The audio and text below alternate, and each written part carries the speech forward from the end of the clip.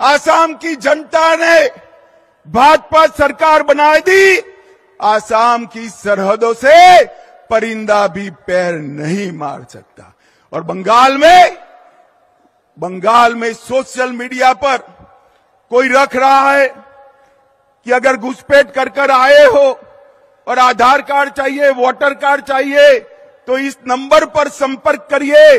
Bengal police चुप मुझे बताओ, भाइयों, बहनों, जिस राज्य में इतनी घुसपैठ होती हो, वहाँ कभी विकास हो सकता है क्या? ज़ोर से बोलो, हो सकता है।